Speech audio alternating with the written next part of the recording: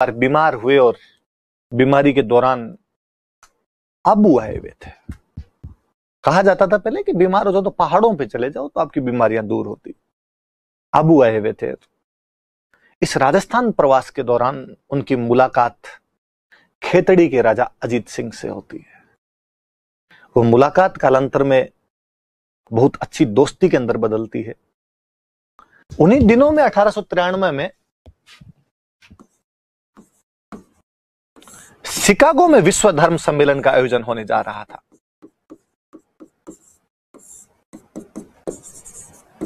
विश्व धर्म सम्मेलन वर्ल्ड रिलीजियस पार्लियामेंट का आयोजन होने जा रहा था। और खेतड़ी महाराजा अजीत सिंह ने सुझाव दिया उन्हें। कि महाराज वी विदिशानंद जी आपको इस सम्मेलन में भाग लेना चाहिए। और भारतीय परंपरा दुनिया के सामने आनी चाहिए। सब पैसे का जुगाड़ कैसे होगा शिकागो जाने के लिए? खेतड़ी महाराजा ने कहा वो सब मुझ पर छोड़िए आप।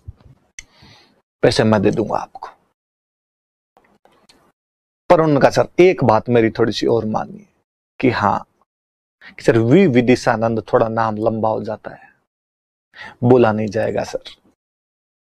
थोड़ा नाम चेंज कीजिए। एक नया नाम दिया गया, विवेकानंद। थोड़ा सरल नाम था। डायरेक्ट सन्यासी किसी छवि उपस्थित करता था।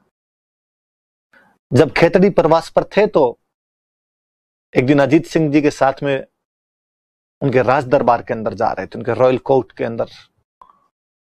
अजीत सिंह जी ने कहा कि, स्वामी जी, आपको हमारे दरबार में आना चाहिए। हमारे अन्य जो लोग हैं, उनसे बातचीत की जानी चाहिए। जब जा रहे थे तो।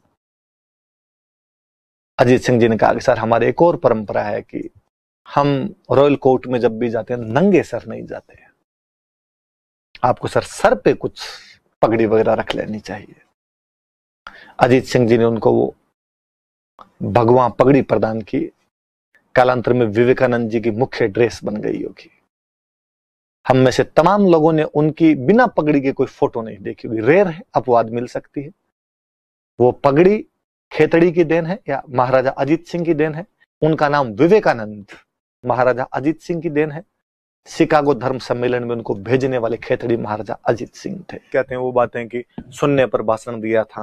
नहीं नहीं, वो भारतीय संस्कृति के बारे में बोल रहे थे। वो बता रहे थे कि हम उस महान संस्कृति से बिलोंग करते हैं, जहाँ पर बाहर से जो भी आया वो हम पर आके मिल गया था। उन्होंने कहा कि मुझे इस बात पर बड़ा गर्व है कि यहूदियों को जब पूरी दुनिया से सताया गया तो हमारे देश के अंदर आके उनको पनाह मिली। मुझे इस बात का भी बहुत गर्व है कि ईरान के उन महान पारसियों को भी हमने हमारे देश के अंदर जगह दी थी। उन्होंने वेदों से वो मंत्र उठाए और कहा कि जिस प्रकार तमाम नदियाँ अंत में जाकर महासागर के अंदर मिल जाती है, उस प्रकार दुनिया के तमाम धर्म का अंतिम छोर छोर यदि आप कहीं पे ढूंढोगे, अंतिम सिरा यदि कहीं पे ढूंढोगे तो भारतीय संस्कृति के अंदर आपको जाके मिलेगा।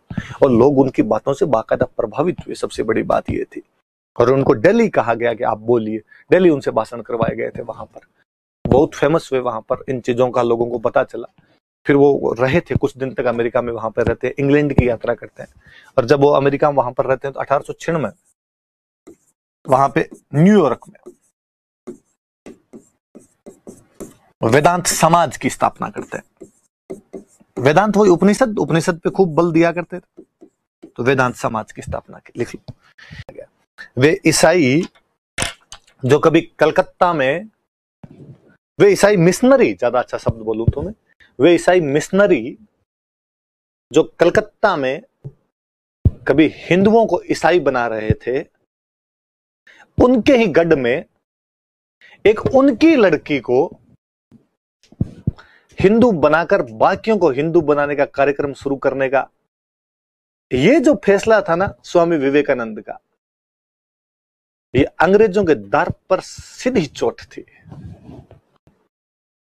कि अब हम वैसा ही करेंगे जैसा तुम करते हो। तुम मिशनरी हो, अब हमारा मिशन यही काम करेगा।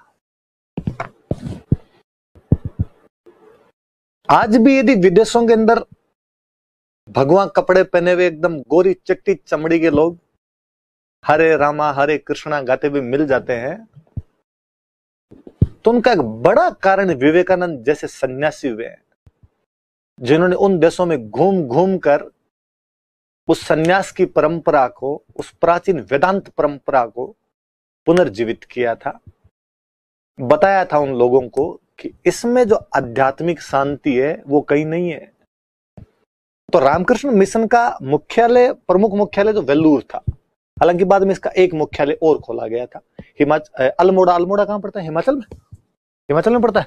तो हिमाचल प्रदेश के अल्मोड़ा नाम की जगह पर इसका एक कार्यालय और खोला गया था। एक लाइन और लिख लो, फिर कल हम बात करेंगे। कालांतर